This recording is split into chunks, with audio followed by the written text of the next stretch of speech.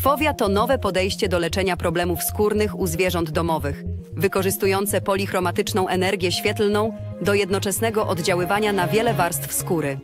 Zobaczmy, jak łatwo jest ją używać w codziennej pracy.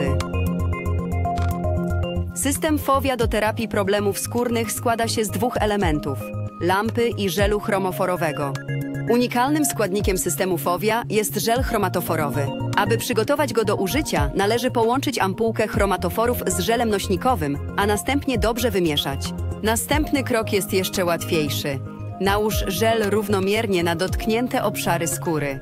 Upewnij się, że wszyscy założyli ochronne gogle, a następnie użyj lampy, aby naświetlić żel na skórze.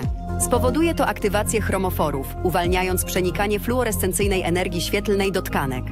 Po naciśnięciu przycisku lampa wyemituje sygnał dźwiękowy. Lampę należy trzymać jak najbliżej skóry. Każdy cykl trwa dwie minuty, a w lampę wbudowany jest zegar. Po dwóch minutach usłyszysz kolejny sygnał informujący o zakończeniu cyklu naświetlania, a lampa wyłączy się automatycznie. Użyj wacika nasączonego solą fizjologiczną, aby usunąć żel. To naprawdę jest szybkie i łatwe.